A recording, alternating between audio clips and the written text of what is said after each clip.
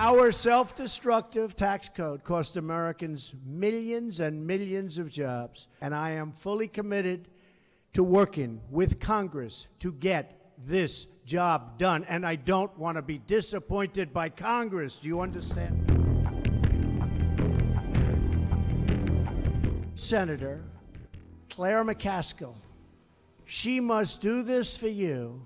And if she doesn't do it for you, you have to vote her out of office.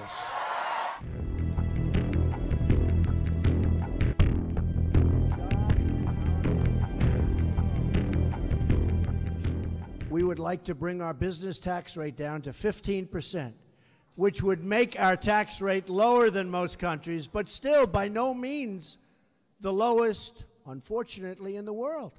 And if we